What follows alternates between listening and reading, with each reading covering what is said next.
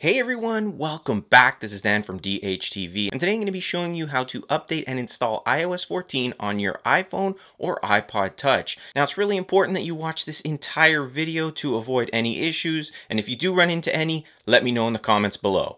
Let's get started.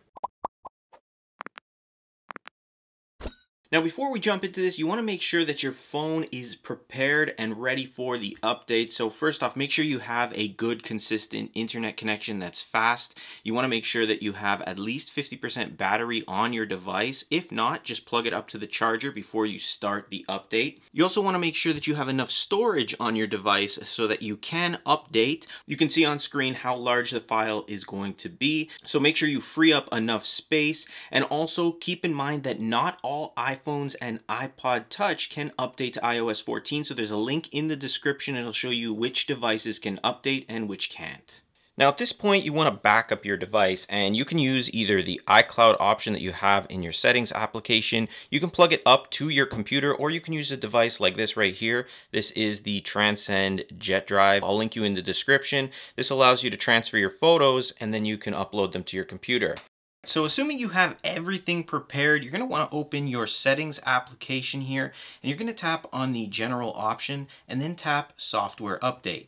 Now it's going to check for the update, might take a little bit longer than it did right here, but you can see at the top 2.83 gigabytes. That's how big of a file this is going to be. You're probably going to need to free up more space than that, as been the case with previous updates from Apple. You can read through all of this, you can tap the learn more option and get some more information here of what this update entails and decide if you want to update for yourself. But we're here to update, so we're going to tap download and install, enter in your passcode, and when the terms of service pop up, tap agree, tap agree again.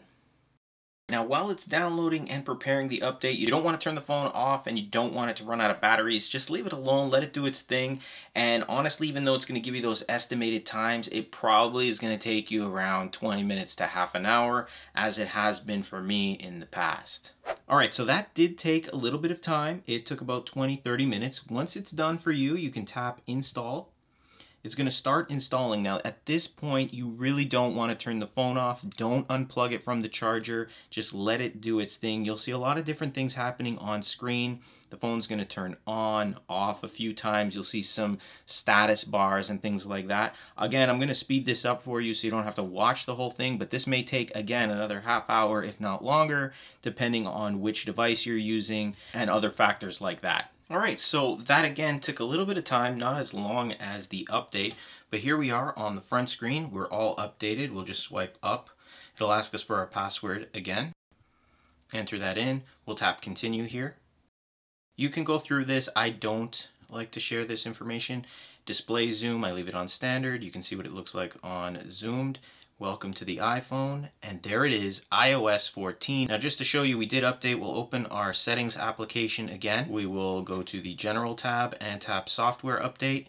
It'll check for the update quickly. There we are at iOS 14.0. The software is up to date. And that entails all the new features with iOS 14, including the app library, which goes through and organizes your applications in various sort of app drawer-like feel. I'll be showing you guys how to use some of the best features with iOS 14 in upcoming videos, so don't forget to hit that like button, subscribe to the channel for more videos like this one here, and click that bell notification box to be notified when I post new videos. And if you found this video helpful, share it on social media. It'll help other people find it and get them updated to iOS 14 as well. As always, thanks for watching, and I'll see you in the next one.